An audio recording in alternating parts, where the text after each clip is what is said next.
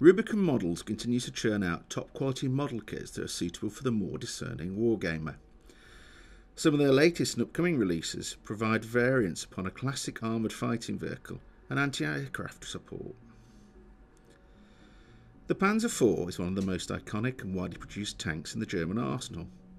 Serving in every major theatre where the German forces fought, the basic chassis was used to create a myriad of differently armed vehicles for use during World War II.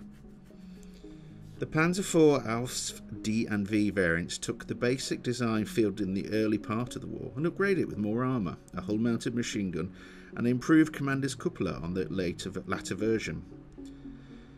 The Rubicon kit includes five frames with parts to create either version, which produced up until 1941.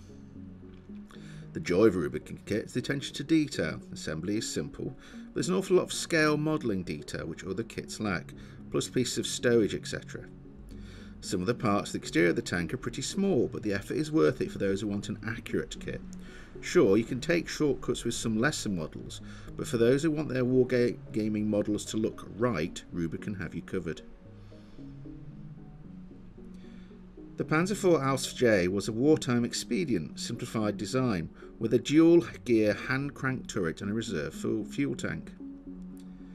Thanks to Allied bombing raids, the outer design points had also been changed by 1944, which meant no Zimmerit paste and wire side skirts rather than plates.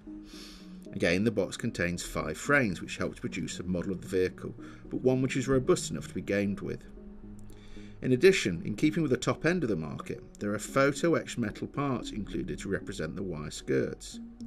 You don't see that attention to detail on most kits of this scale, and certainly not those intended for wargames use.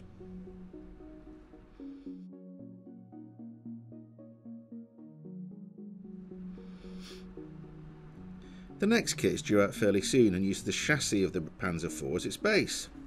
The Flak Panzer IV Wirbelwind was dreamt up as a result of the need for an anti-aircraft support weapon that could keep up with and protect German armour.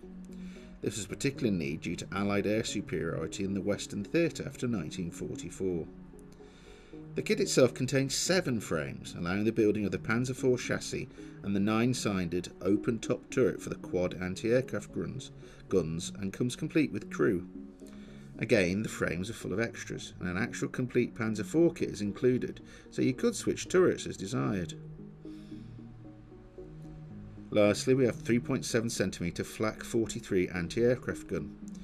The options available on the single frame allow for the use of a static or wheeled mount, and there's a crew of three included with clips of the large ammunition used by this weapon.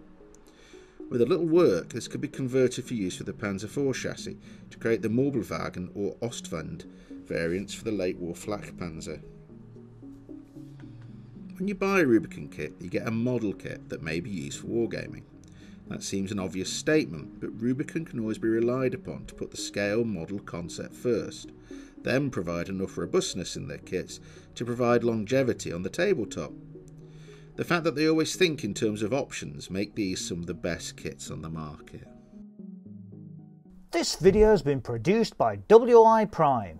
WI Prime is Wargames Illustrated Magazine's online members club.